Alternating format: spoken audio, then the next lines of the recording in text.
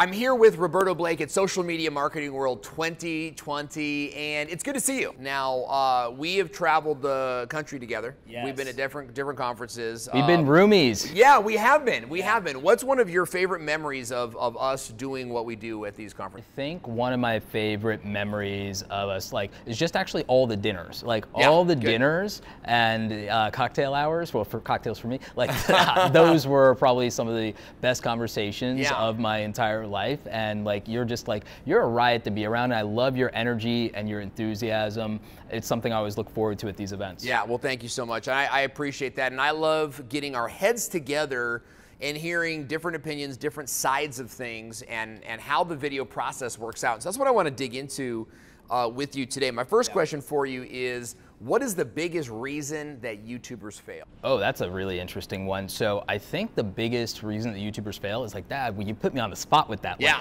But like, all right, this is mostly my opinion, so take this with a grain of salt. This is gonna be some tough love. But um, the reason that I genuinely believe that most YouTubers fail, and YouTubers, by the way, there's like a 99% fail rate, Mm-hmm. and a lot of that has to do with well, where's the where's the measuring post? Where's the goal post for success on Right. YouTube? What are we qualifying as Right. that? And there's a lot of different ways to calculate that. You still end up with like 90, 95% people failing because it's the same reason that a lot of people fail with an online business owner. Okay. And you know why? Why? They don't keep going. That's a big part of it. But let me get more involved with that because that's just easy to say. It's like, oh, people fail when they quit, When they right? stop, That's, yeah. that's too fluffy for a lot of people. Yeah. So recently, I've been working on a massive case study. I'm hoping to finish it soon with our friends over at TubeBuddy. Great. I've been collecting a lot of data, looking at like um, the data from 20 million videos, 3 million channels. This is like one of the most involved case studies that's ever been done Yeah.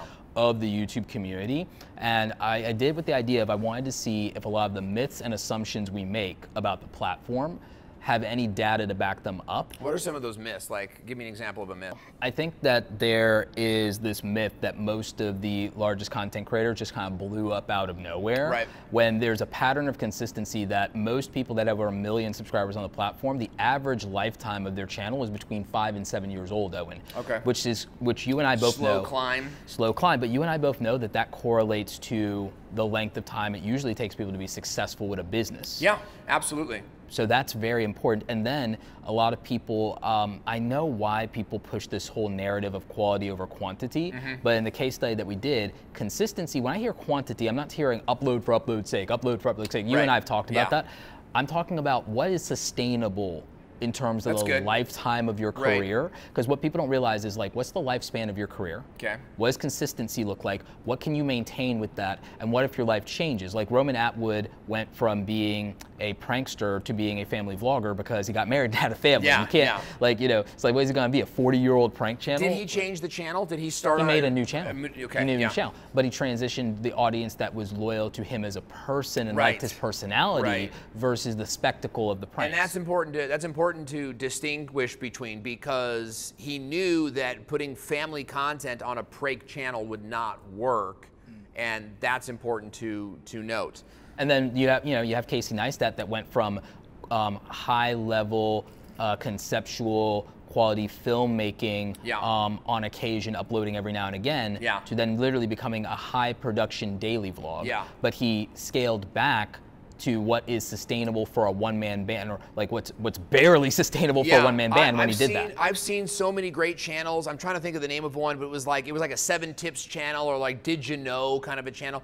This guy created amazing content. He's one of the first content creators that actually got me on the platform as a consumer.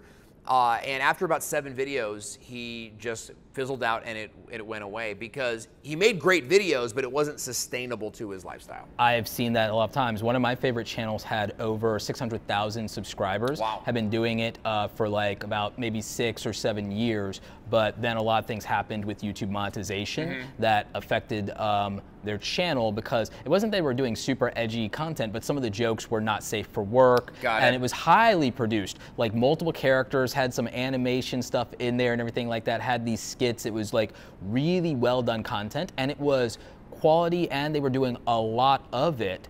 But that was financially not sustainable Right. once um, they had some hiccups with their ad revenue. Right. And so people don't even think about the financial viability or sustainability of the type of content they want to make. It happens a lot in the business too because you start pouring all of your money into the business and without turning an, a, a strong enough profit, and then you notice we can't we can't sustain this business. So what you're saying is the reason, the biggest reason that you see is because uh, creators are not being consistent. They're either like spending way too much time up front on high quality and they can't sustain that, or it's such a low quality that it never gets traction on the platform. Exactly so. So yeah, consistency is the biggest thing, and balancing out uh, things like quality, quantity, investment, time, Yeah. resources, and then also your lifestyle. Yeah. Like being a content creator is a lifestyle choice. Being an entrepreneur is a lifestyle choice. Right. And my biggest thing is I'm trying to, I've pivoted a lot in my conversations about this. And the big thing that I'm telling people is let's have a common sense approach Mm-hmm. to being a content creator. Let's take a common sense approach to social media. Let's take a common sense approach to business and entrepreneurship. Yeah. And but what that means in many cases for people is they need to figure out what making it right size in their life Yeah, that's good. looks like. That's good. You know, what are your thoughts then for like a, an entrepreneur who wants to be a YouTuber? And by that I mean someone who is a thought leader in their space. You know, maybe they're in the insurance industry or a real estate agent, and they're becoming really well known. They're they're being asked to speak at all the conferences. How does that person add video now into their lifestyle so that they can amplify and scale the visibility that they're getting? I think for someone in that situation, it's Mm-hmm. the same as somebody who works a nine to five job. You have to find a way to do this without taking away from your responsibilities, without compromising the quality of the work that people rely on you to do, Yeah. and while of course, you know, being able to provide for your family Mm-hmm. in that situation, or take care of yourself if you don't have a family, like me, the single guy. The uh, but the the thing that I would look Hopefully at, not for long though, ladies. Right? Like, don't let that stop you. Hashtag forever alone. uh, but no, but seriously, um, the thing again with making that right size in your Yeah. life is also looking at um, where can you delegate things in your life right now big. to free up Right. the appropriate time for you to concentrate a certain portion of your effort here without taking from something else. So someone has to pick up the slack there. Yeah. Like because the other thing is people overwork themselves. They Yes. take on too much Right. and then you can't deliver for everybody. You can't be consistent, you can't be reliable, you let people down. Yeah. So you like I think people take on too much when they add this to their plate without taking something off. Right. So you have to take something off, which means you either have to learn how to automate certain things or you have to get help, have people um, do that. Or if you add this to your thing, sometimes you have to figure out how quickly you can overcome the learning curve Yes. of becoming good and fast Right. enough to make it worthwhile. And you also have to, in my opinion, you can't do this to the the detriment of your financial well-being. Right. It it doesn't make sense, right, to do it. Now, do you need to have the world's greatest camera? No. And the world's okay. Dee Nimmo is the master of mobile. Yeah, Our yeah. friend Dee Nimmo is the master of mobile. He's built an entire YouTube channel about that. And he walks the walk in the sense that he makes most of the content the way that he tells you to make the content. to Right. Run the mobile devices for Right. that. And so I think that that's very powerful. We, when we were at VidSummit, saw someone do a tri video setup similar to what we have going on here Yeah. with only smartphones and run the entire operation from an iPad. I, I love that. I love those softwares, and I think that that is going to be a huge tool for creators to take advantage of. Let's talk about success on YouTube. Okay? What's the big thing that if most creators just grasped this one thing, this one concept, they would be successful on YouTube? What's that one thing? I had an interesting conversation with a YouTube employee. Okay. And I'm actually saving, I've been saving some of this for a bigger video on my channel, but I'll go ahead and I'll, I'll let the Owen video. Nice sneak peek, So- folks. What, um, what I was told is this. I was told this about the YouTube algorithm. I was told this not as a secret. I was told this probably so that I could actually tell people about Yeah, it. Like, yeah, yeah. Um, Don't say a word, right? yeah. So uh, what I was told was that YouTube doesn't look for viewers for your videos. It looks for videos to give to the individual viewers. We in the YouTube ecosystem have Mm-hmm. been dealing with a culture that feels as content creators that everything should be creator first, creator first. Right. That makes no sense. Yeah. Because viewers are everything to us and to the advertisers. So big, yeah. And the advertisers allow for the investment for us to be able to have all these great tools that Mm-hmm. let us focus on just being content creators. So if we look at the hierarchy, the viewer has to come first, and then we're in partnership with YouTube. So us and YouTube as a platform are last in the equation because they have to and we have to think about what value we deliver to the advertisers Right. because they're paying us. Yeah. We cannot ask for to be paid in exchange for not creating value. Yes. So yeah, the advertiser does sit in the hierarchy above us, and I know that's frustrating for content creators. Right. But the thing is, you have to think about it in the relationship of you're asking someone as a viewer for attention, so you have to deliver for them, obviously. But then if you're asking for someone for money, you have to be a good vehicle for them to get a return on that investment. Are you talking about like if you're selling a course, or are you talking Well, no, about? I'm talking about ad revenue. I'm Okay, talking about right, yeah. I'm talking about in the sense that not even just with a sponsorship or brand deal, but that's the obvious one. If you if you're going to take money from a brand, you Yeah. have to be confident and honest about whether you can deliver for them. If you don't think you can deliver for them and you take their money, then you're not doing good business. You're Right. not you're not being honorable, right? Right. Well, with content creators because of the passive nature of YouTube, Yeah. there's the expectation of my videos should be monetized, but what I've noticed is no one ever asked themselves is my content a good vehicle for selling anything? And is that in the best interest not only of the brand, but is that in the best interest of my audience? Yeah. Is it in the interest of my audience for to interrupt the video at this point so that somebody can sell soap Yeah. or sell Yeah. Or sell camera gear or something like It's that entitlement culture that is intrinsically a part of being a creator, right? Is Yeah. is you you can't just create what you want to create. You have to take what you want to do and match it up to what what consumers want to see vis-a-vis what YouTube can monetize. you have to think about the word alignment. It's not about selling out. It's not about not doing what is authentic to you or what you good, want. man. It's about alignment and saying, you know, I want to do this thing, but why should somebody care? Right. I want to do this thing. Why would someone invest in this? Because they're not investing in it to support me. They're investing in it because they want a return Right. on their investment. So, am I a good partner for that? And the thing is, sometimes it's okay if that's no. There are brands you Right. don't want That's right. advertising to your audience. Yeah. Look, look, it, the way the world, the world works and the country works right now, I made a conscious decision. You know, I could be raking in money right now. I made a conscious decision to turn political ads and block political ads Wow. off from my YouTube channel. You will never watch my YouTube channel and see a political ad play before the video or interrupt the video with a politician trying to sell you on their vision. Yeah. Okay. Um, regardless of what side of the aisle they sit on or what they believe in, I decided that it's not in the That interest- seems very you, right? Because I know you. Uh, we've we've known each other for a long time. That seems like a very you thing to do. Right, but again, a lot of people are not comfortable with the idea of turning down money and asking themselves, this isn't in the best interest of my audience. Right. And I think that you have to be willing to look at what you want to do and then find a way to you know, make your audience a real priority. Yeah. I think if people could grasp the idea of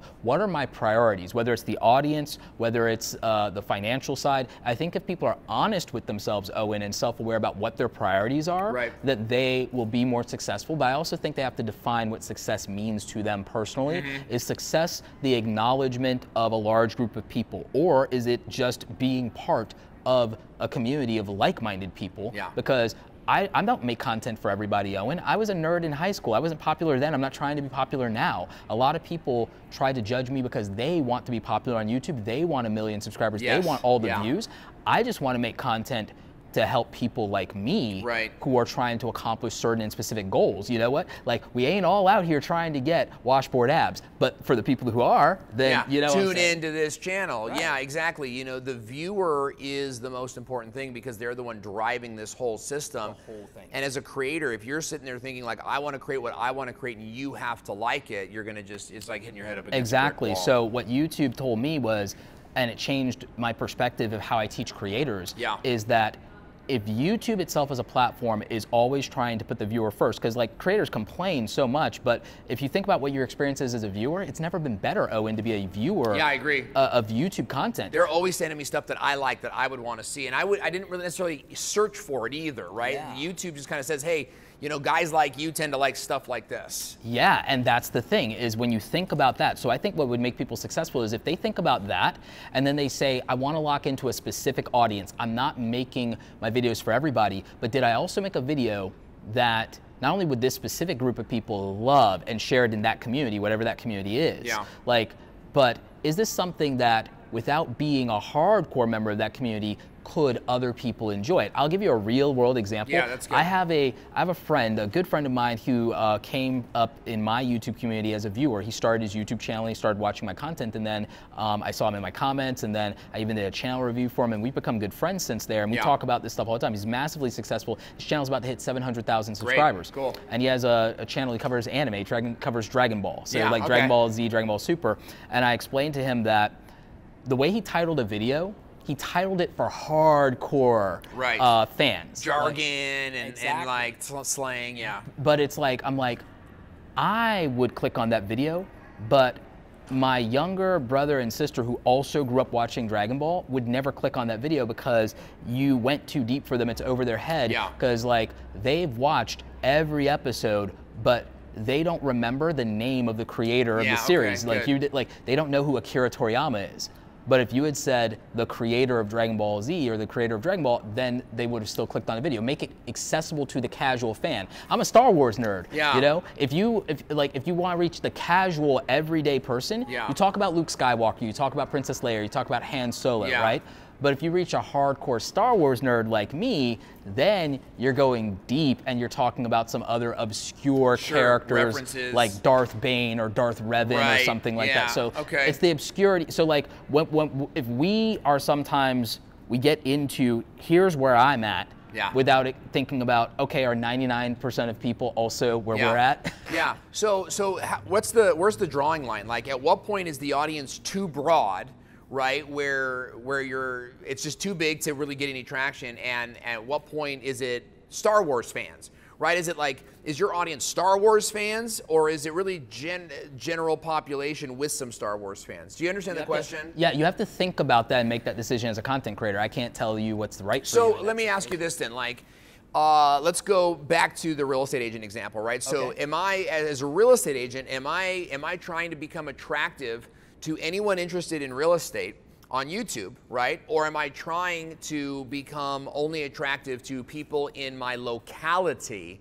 that are looking to buy a home? with what you want to be known for Mm-hmm. and where you can compete and win. Alexander the Great is one of my favorite historical um, references, Yeah. and a, a, stra- a strategy that you would look at is what is a small territory that I can conquer, Okay. and that might not be geolocation because they're just not. That might be way way too It's like specific. mind space, right? Yeah, Like- it's mind share. It's like that might be really too specific. So I would focus on either an aspect of real estate or an aspect of the real estate community. Mm-hmm. AKA, I would focus maybe on first time real estate investors. Okay. Okay, so maybe that's it. Or maybe What I about like gated communities? or, like, well, again, that might be specific, Mm-hmm. but that might be way too narrow to get enough traction in terms of Okay. people opt in versus opt out. Got it. But first time real estate investor is specific enough. Yeah, and that's but a there's wide- and there's people every day, day being told that that's how you should retire, or that's what you should look into now that you have a little bit more money, or hey, if you want to. No, that's good. Like, so there's Yeah. enough. There's enough existing attention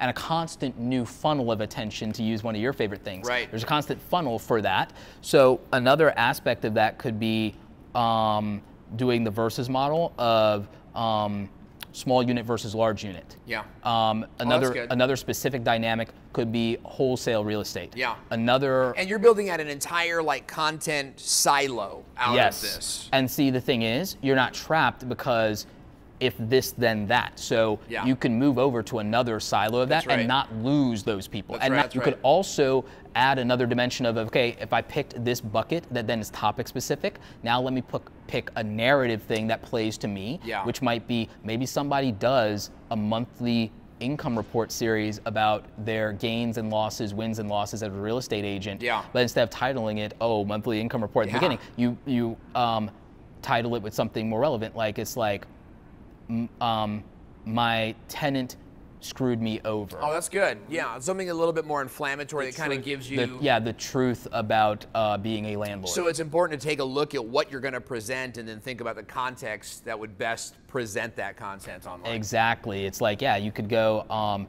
something like, um, you know, the Flip Life Chronicles, uh, life of a real estate agent. Yeah, you know, good. like of some. Really if, you're, if you're into flipping real estate, Right. right? You could like, you know. But you wouldn't want to go from like flipping real estate to to like um, uh, you, you know single family homes necessarily, right? Like if you're in real estate investing and then you start all of a sudden talking to like renters. It depends on. You could do that because it depends on where in your journey you are. Okay. So at not Yeah, at that's the good. not the beginning, but once you've established Later a on. foothold and a name, so you always have to think about the evolution of your journey and So your big. and your channel, That's so and big. and you need to think about okay.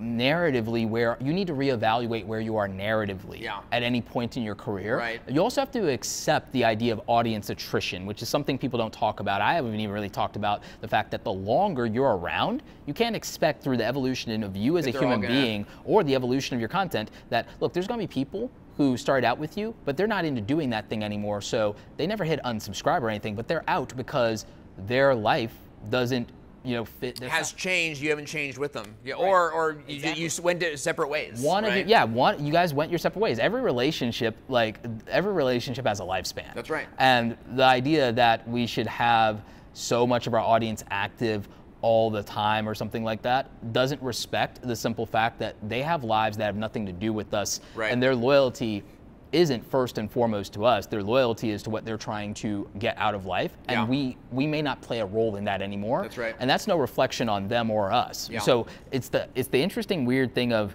trying to say don't take it personally and i know how hard that is but I, i'm again trying to use this common sense realistic idea of why we shouldn't take these things so personally and take it to heart Mm-hmm. and take it as a rejection because it doesn't have anything to really do with us Yeah, I think that people struggle there. I think that they really do because you've built this career on, or you're starting to build this sort of career, this passion around topic A, but topic A may not be what produces well online. So you've got to produce sort of like, you know, topic B and C to bring those people into your channel where they can then be introduced to topic A because they like you now. They trust you. You brought them in on this higher level content. You have to think about what the gateway is to people who don't. Gateway. The gateway to people who don't know you. Yeah.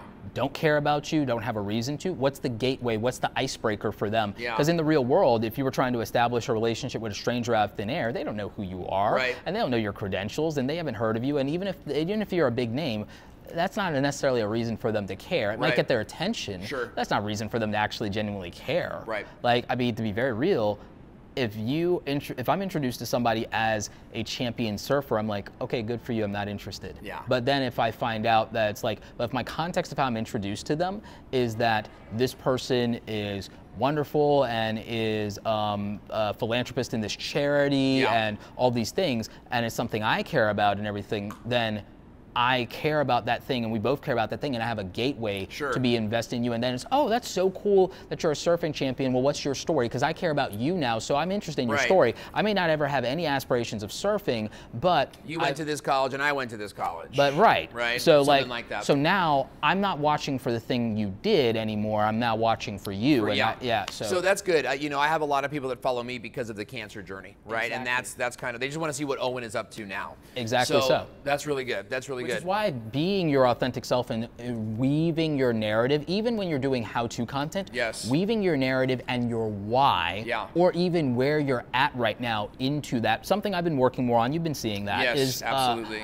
I like advocating for the fact that I went to community college. I'm a community college dropout. I'm a big advocate for community college and trade skills. Yeah. And it's because I think that's wildly accessible to more people, especially if they're financially, they're broke like I was. Right. And um, that, hey, I went with uh, no formal college degree. Yeah. I am college educated, but I was local community college. Yeah. I'm a multiple six-figure entrepreneur. I've been doing this for a and that of years. endears people to you because they're thinking, I am too, right? Getting your audience to say, that's me, right? We, we focus a lot on that in, in community and identity Right. and the authenticity of a story that's relatable because where I'm at may not be relatable to people, but that's aspirational. Yeah. The connecting tissue of that is where I came from. Right. And if I don't acknowledge where I came from, then you don't believe that you can get what I have. You might not even believe that I have what I Right, have. you, they, oh, you're some rich kid. You're some rich kid. Your dad bought you, and I know even I've done that, right? And I'm watching people, not you, of course, but like other people on you. I mean, ah, I bet you got started with all the, you had inheritance. I bet you know this kind of thing, and it it, it stifles your own creativity, doesn't move the industry forward. Let's talk about analytics. I want to talk. I want to hear about you know your analytic process. What do you, what numbers are you looking for, and how does that affect your content? Maybe like the top one or two things that that you are just focused on right now analytically. I am focused heavily on watch time. I mean, I look at click through rates. I encourage everyone else to look at click through rates. I am not prioritizing that, even though it would get me more views. The, Mm-hmm. the first barrier in uh, YouTube is get the click. You know, Yeah. I tell people get the damn click. Yeah, like, yeah. and as long as you deliver value, I no longer care how you do it. I used to be very anti clickbait.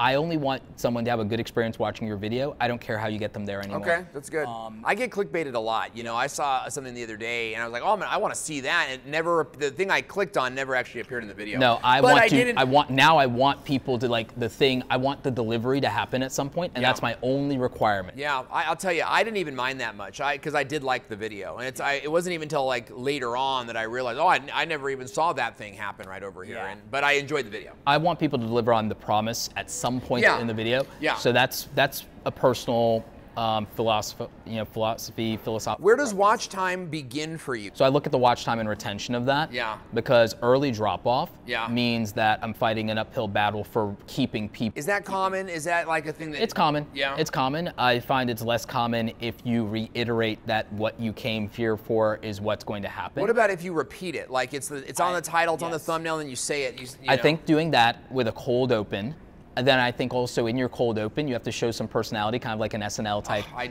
agree. And yeah. then, but because this is what our friend um, Derral Eves, the master of all this, calls the Yeah. hook. But I have another thing that I think is important in the beginning and in the beginning of that hook that can be helpful if it's information-based content. Okay. So if it's information-based content, which most of your audience is like is a how-to type or, of. or a business thing or whatever it is, or even uh, even if it's a business vlog, which is becoming more popularized, Yeah. I think that to some extent, in an entertaining or at least a higher energy or at least in a relatable way, you almost have to lay out the table of contents. Mm-hmm. So yes, you reiterated the title, but now you're getting into specifics of why you should keep watching throughout Okay. throughout to so the why behind it. because then they're like, I'm still waiting for that thing. So I'm going to keep watching. How soon am I going to get to that number two thing out of Right. the three things? Like if it's three things, I'm like, okay, I do want those three things. Right. So I'm going to try and watch as long as possible to get all three of those things. Right. Like if you decide to order a 10 piece chicken nugget, you're not you're gonna look at eight and you're gonna be like, where are the other two? Right. Right? Yeah. So like expectations. So I think setting expectations and delivering on them in the beginning of the video is what actually drives retention rates higher and overall watch time higher. do you higher. do that? Do do that comedically? Do you do that sort of outlandishly, or can you just like say it? Like you just say, "Hey guys, if you're in this video, you're going to get three points, and I'm going to go through them." you know what? You go to conferences, you see all these high energy extroverts, and you get exhausted just looking at them. If you're me. But then it's your turn. You have to build relationships, you have to deliver on value, and you have to find a way to do that without being dead to the world a week afterwards. So today, I am going to give you my 10 best networking tips for introverts. That's good. And I promise you that you're not going to feel exhausted watching this video. I'm going to teach you exactly how to do this and how to survive the next conference that you're at and fend off the energy vampires. Let's get into the video. That's really good. So you know, you kind of like with the relatable problem or the relatable situation that this video will apply to. Exactly. And again, reinforcing the fact that I identify with the audience. I'm just like, oh wow, that's how I feel. That's what I Yeah, think about. right. It's like, and then the jokes with the like, oh, it's exhausting just watching them. It's like, Yes. oh yes, preach. People- and then, yeah, Oh, and then the whole the energy vampire thing is like, oh, that's like, oh, I- if you've heard that, you're like, oh yeah, and if you haven't heard that, it's like, oh yeah, it's just like that. And I- you may have, yeah, if you're the introvert too, you probably have heard those terms, right? So really good relatability, using that slang where it's appropriate. That's really good. Yeah. Let me ask you now uh, a little bit about you as a creator. Okay. Uh, and sort of what you go through. My biggest question is, um, how do you deal with failure? I I grew up as a gamer, Owen. Uh, Mm-hmm. Failure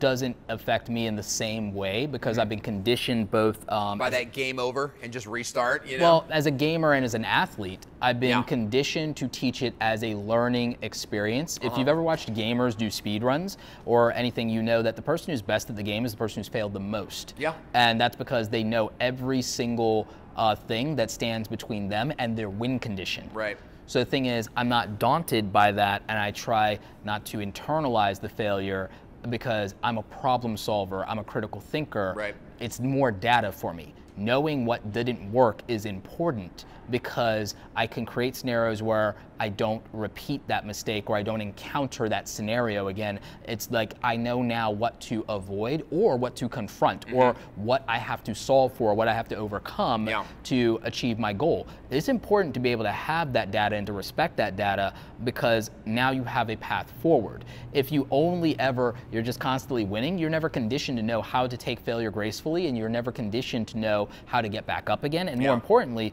you have no understanding of how to apply this information, this experience to better yourself. Yeah, that process time after a failure, you know, even acknowledging that something was a failure, right? Like that didn't go well. Mm. And then taking time to sort of mourn the loss. That's what I say to my team is like, let's take some time and just mourn the loss, lick our wounds a little bit, and let's process this at Denny's and, and we'll, we'll talk about what But I also look for the small victory beyond the learning lesson. So how do you handle that? You know, how do you handle these? I'll give you a primary example. It's like I personally prefer a video to get 10,000 views. Yeah, in a week or two days or what?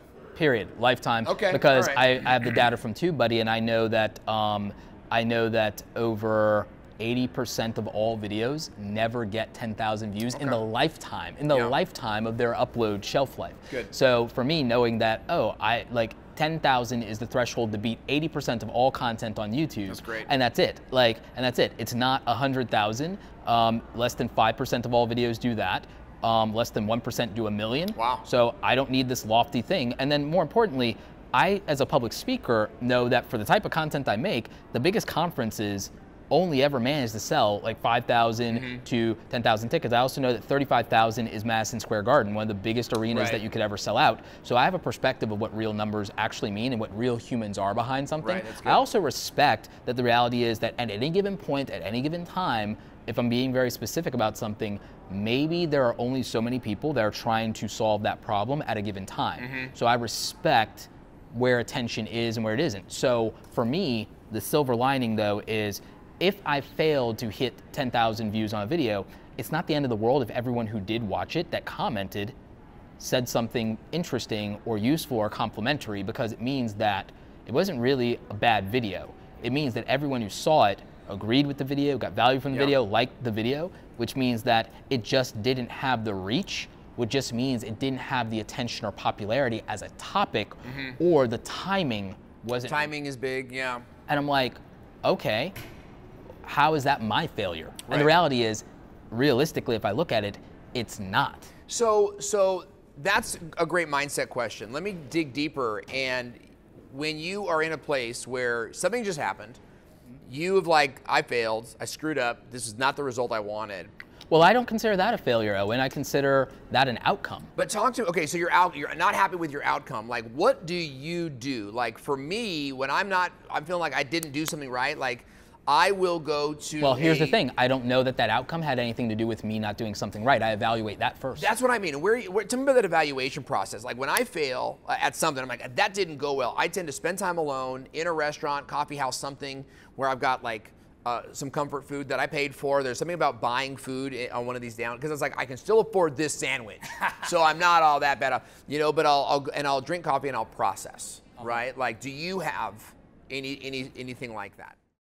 With what was within the realm of my control. But actually, the first thing I say is, like, outside of the result, outside of the outcome, Yeah, am I satisfied with what I produced? yeah, that's good. And so I look at that first, and that's kind of a like yes or no question. Then I go into what is the thing that I am most satisfied with that I think I did very well here that should be repeated. Find the wins. Like, but also like again, what was so good here that I like that should be repeated, and did other people also like that thing? And then that's looking at those comments and Right. stuff like that.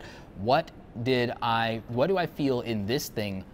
Could be an opportunity for improvement in my process. Right. I am a process driven creative Yeah. versus an outcome driven creative, which is the difference between me and probably most people. It's also the type of entrepreneur I am. I'm Yeah. a process driven entrepreneur more than outcome driven entrepreneur, meaning that that's why I look at sustainability so much. That's good. I look at it's not worth killing yourself to get a million dollars. It's better to be able to get a quarter million or a half a million dollars Mm-hmm. and also have something left in the tank to live a life. Okay. And to know, hey, if my life changes, I don't have to change any of this process to add something else of value Yeah, to my big. to my life. Like I'll give I'll be real with you. Right now, there is very little in the way that I allocate my time that I would have to change right now if I got into a relationship.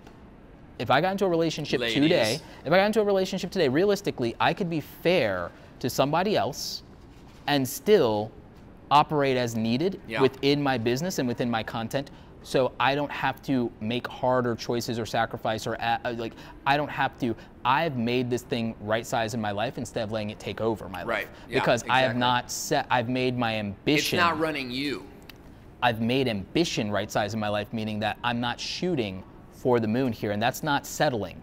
It's understanding the consequences of my actions Right. and realizing that, you know, what I might have to do to get there may not be worth it because realistically, have I ever gotten there and did how happy was I? Did I ever achieve this and how happy was I? What did I get out of doing that? All right, was it worth the cost? Right. Is the juice worth the squeeze? Right. You have to decide that. I can't tell you that that I can't tell you that that's worth it. I can't And as tell you. we as we continue to, to kind of like climb these ladders of success and like get higher up, like everybody is talking about the quality of life, right? There, Yeah. no one's talking about, oh, I'm so glad I made all this money. I'm so glad I got to stay in this hotel. It's always about I'm, I'm spending time with my kids. Like the I- I'm I'm buying a house and I'm set. I'm I'm getting out of the chaos, and and that's something we I'm have to be. reducing the stress. I'm Yeah, reducing the fame is fun. Don't get me wrong. Like we we all enjoy that season, uh, but as you kind of progress through that season, you start to really uh, you know start to uh, look forward to these moments of quiet and just being personally developed with the people that you love. Yeah. Um, I mean, my, my shorthand version is learn to put failure in its place. yeah, that's good. It has a place and it has things to teach you. Put it in your place. Don't let it become overwhelming. Don't let it dictate for you your value. Okay. Okay? Don't let failure determine and rule over your decisions in life. Yeah. Put it in its proper place and Right. use it as a tool Right. and use it as a guide. What about um, handling wins? Without, I, I guess what I'm reading is like, how do you handle these wins? You've had a lot of wins. Yeah. Um, you know, everywhere I go, in fact, I got a message from Anisha Collins uh, right before we did this interview, and she's a fellow, you know, cancer patient with me, and, Oh, and nice. she uh, she said, Roberto, are you going to see Roberto Blake? I want to meet Roberto Blake. That happens so often at these Yeah. conferences. So how do you continue to like experience success without, you know, getting to this place where you're just kind of arrogant and douchey? I think part of it's being process driven. That's my version. My version is I'm about the process because, but I also think it has to do with a very negative aspect of my personality. I'm bad at celebrating victories. Okay. I'm bad at celebrating. I know exactly what you mean. So, and you know, having a, a military dad, I think is was for me at least part of that is that it's like, oh, you got a 95. Why wasn't it a 99? Yeah, Why yeah, yeah. We expect, yeah, Yeah. this. So there's so there's that aspect of it which may or may not be healthy uh, on my part. So I may not be qualified to give advice to that. But I think, Right.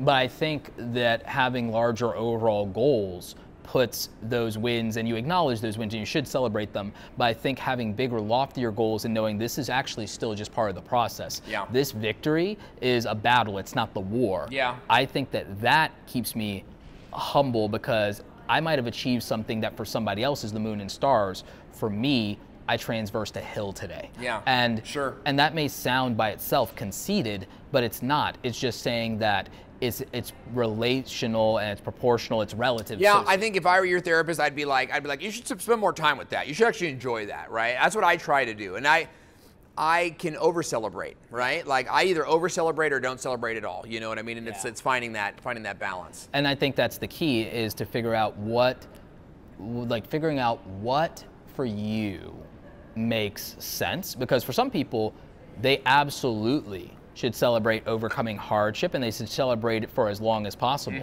And I think that that will help them when they have to confront a, a greater difficulty and, and 100%. that's something, and you have to figure out what that means for you. 100%. For me, I mean, and as fluffy or woo woo as that sounds, for me, what it really comes down to is I focus on what I can control and I let go of the things I can't control. Mm-hmm. And I also try to process my reactions and I just try to be thoughtful. Yeah. And the other thing is because I'm an introvert, um, there's not like, aside from celebrating with friends who knew what it took to get there, there is, and family obviously, there's like, there's not a lot of people to brag to or to flex on, and I don't really care about those things. Yeah. I'm not um, materialistic, so no matter how much money I make, my lifestyle is not going to change much beyond um, utility. meaning, I, yeah. I scale lifestyle, couple creature comforts. You know? creature comforts. Well, because I also think that there's a such thing as like creating. Well, I have a new thing that I call the happiness equation. It's probably not original. Someone else probably uh, has that, but my version of the happiness equation is I look at it like net worth. I look about net happiness. Yeah. But I think that what people don't do is the same way I talk about passive income and automating that to make higher and higher amounts of money. Right. People don't create a system in their life that keeps adding to their happiness in all scenarios. 100%. In all scenarios We to balance things- out hardship. Yeah, we do things that we hate, that we're not good at because it makes money or it pays the bills or you've always done it or whatever. And then you end up, you know. But you got to do better than break even. People are breaking even, if they're not going into a happiness deficit, or worse, man, they're they're, they're in a debt, deficit. Yeah. Well, they're, they might be in a happiness deficit, not just a financial deficit, which that that's part of it. But the, if you're in a happiness deficit, meaning you have all this success, like look at the wealthy people we've met and know that they're not happy. Yeah. They have all these success and all these trappings and all these things, but they don't have anything that, as an individual, reflects their happiness and in terms of the experiences they need to have every day because the hardship and struggles and things they've done both collectively but even on a daily basis do not result in a net outcome. We know all these people Yeah. who have millions and millions of dollars but they're not nearly as happy with people who have less and that's not because money is in any way evil or wrong it's Right. because their equation is lopsided the sacrifices it took for them to Yes. get there compounded there's so much negativity Yeah. in terms of what the pain was, the pain threshold to get there, and then even to keep it is so high, and they haven't those the material things that they bought and the experience that they have have not been so overwhelmingly good or have not been so overwhelmingly good long enough Right. To make that equation balance out to even break even, Right. let alone not having them at a deficit. Somebody else, on the other hand, once they eliminate that $10,000 in credit card debt Mm-hmm. and then they start crushing it, even without making $100,000, they're gonna be happier than that millionaire because the, the hardship and struggles that they had to go through to get to a better place Right. were not so astronomical. And then they're also making sure that day to day they're doing enough to be very happy and they've surrounded themselves with just enough comforts and just Right. enough things to maintain an even keel of happiness every And day. Knowing your own, yeah, knowing your own, uh, what makes you happy, what's going to give you those serotonin kicks, right? Because guys like us, like we we accomplish a lot. You and I are doers. We do stuff, right? Uh, but then we recharge, you know, and you go out and you do again. Like for me, accomplishment, achievement is part of the happiness quotient. Like I wouldn't be. People talk about, oh, I would just lay on the beach in Hawaii all day. Like that, That would make me not- miserable. Oh, I Oh, would yeah. be miserable. I would. It's a good weekend, a good maybe like a week or two vacation. But like can't I, even do a want to. week. I can't even do a We did a week just in November, and and my mind is the whole time is like, oh, we could we could put like a little tiki bar here, and like I'm thinking about how like entrepreneurial activities that could be going on. I'm this not town. happy if I'm not creating. Yeah. I'm not happy. Now I don't have to make that work. It just happens sometimes to turn out that way. Yeah. But like I went to Sony Camera Camp for like it was four or five days up in uh, Flathead Lake in Montana. And we went to Glacier National Park, and like almost nobody heard from me in social media. I think you remember this. Almost nobody heard from me in social media for like four days. People Yeah. were like, "Are you okay?" It's like, Yeah. "Oh wait, no, you're in the mountains. That's right." Yeah. Well, are you alive, City Slicker? Yeah, Are you like, yeah. but they forget I was a Boy Scout, right? But I'm sitting out there, I'm taking these photos of these elk. I'm sitting here taking. You've seen the shots, and I've got so many compliments on like. I know you said you were passionate about photography, Roberto, but I didn't know you were you were a legit photographer. Right. You were like actually like good. you could forget. you could actually do that. You could actually go and travel the world and be a photographer if you wanted to. Like they like they don't realize that I kept that for myself. Yeah, exactly. I kept That's that big. my entire time. Right. That was for me because that's where the happiness lies. Is I like doing the creative stuff that I don't monetize. Right. I like doing the creative stuff that you don't see. Right. And that is part of my happiness equation. I like that, like when I was struggling and I was broke, when I was like totally broke, I pawned all my video games and video game systems. And I grew up as a gamer. I love that. That hurt my heart. Yeah. I'm older now and happy and successful. And while I, I don't go back to like playing eight hours of Call of Duty like I did back in the Yeah. day, I now make some time for it to where I'm like on my weekends or on the nights when I'm like bored or something like that, when I've literally said hustle mode is off. Right. I sit there and I have that thing now. I have every game system. And I have that thing. Yeah. And my new my new hobby, my like, but I don't consider it a materialistic hobby. My hobby is actually going back and actually collecting all the old video game systems and like rebuilding my collection. That's cool. Because it's for me internally. I, I don't know that I'll ever document it or make a vlog out of it. But like for me, it's kind of like I'm going back for all these pieces of my childhood. Yeah. Because of so all me, the bro. all the things that I gave up and all the things where I became an adult too early in life, I'm going back and I'm reclaiming that. I'm I taking that. I'm taking it back. I love that. We do the same thing. I do the same thing with like old toys that I had, stuffed animals, and I give them to my kids. And it was really neat to see my kids' bedrooms kind of filled with the, the nostalgia from my childhood. And then we even have extended. You, you were a gamer. I was like a music guy. So I was like Yeah. Columbia House CDs and like 13 CDs for a penny. So I had all these CDs, and I'm slowly sort of rebuilding up that that library back on on Yeah. iTunes. So, all right, um, let me get to the speed round here. I'm going to ask you five quick questions, and I want you to tell me like your favorite. Okay. Okay. Um, so let's talk about what is, and it's like right now, because I know those favorites change, right? So what's your favorite right now? What is your favorite song? Right now is probably Remember This by NF. Oh, nice. Yeah, we listen to a lot of NF, actually. Okay, great. What is your favorite movie right now? Right now, this one probably makes no sense to people, but um, probably right now, my favorite movie, because of on this nostalgia kick, Yeah. is probably um, Karate Kid Part 2. That's great. Oh, that's such a good one. Because I'm into Cobra Kai a lot, so yeah. Uh, I love the way that they're bringing him back and and really capitalizing on that. Okay, favorite like TV series or streaming series? Right now is actually the morning show. Really from- on Apple, right? Yeah, Apple show. because I like how well written it is. Okay. Like the, the well written, the dialogue, the monoto- the the um, the monologue moments, and everything like that. Regardless of the subject matter, I just think that it is one of the best well written dramas I've actually seen Cool.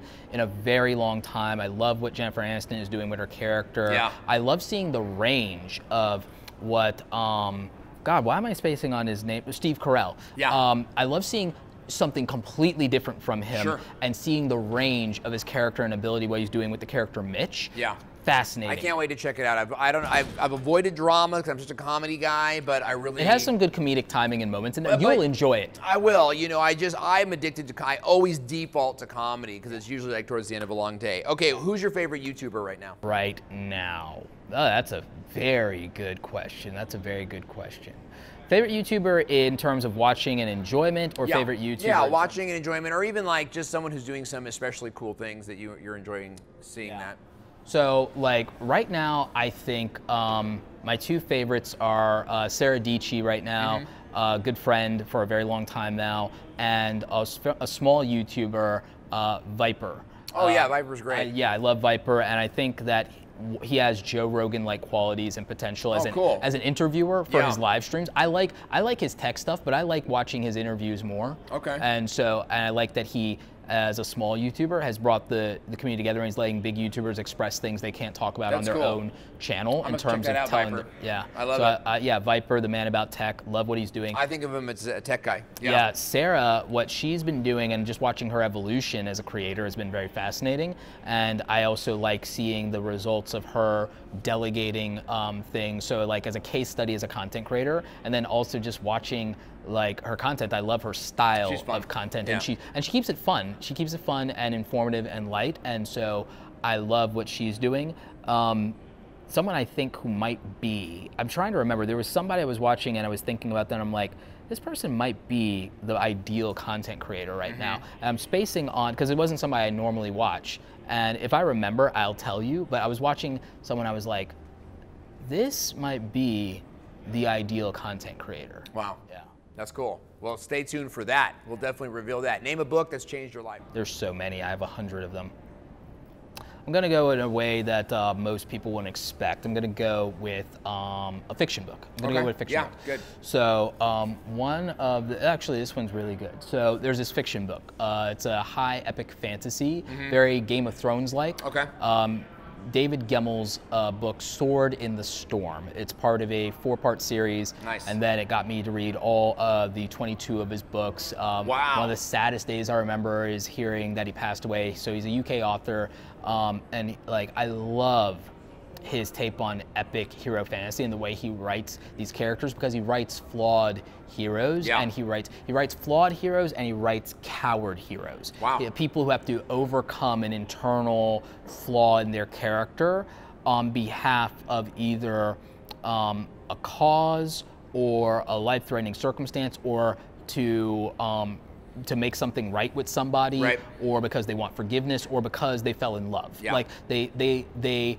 aspire to be better than they are or quote unquote have a right to be Mm-hmm. Right. they rise to the moment Cool. and i feel that in a time when i was growing up and i didn't really have like a mentor and my i had an estranged relationship with my father i was very angry with him when i was in college um, for a lot of reasons um, we've since you know had a better relationship but in that time when you are navigating the beginnings of your your journey as a man as an adult as a young man i was looking for something to relate to in other people and i wasn't seeing it Yeah. in anybody that i encountered and i found it in these fictional characters i found these qualities of um, I would say nobility of Yeah, character, sure. of character, and even with in spite of their flaws, and not trying to cover those flaws, but trying to supersede them to become better men. Right. And having a reason for becoming better men. So That's cool. that meant something to me. That's big.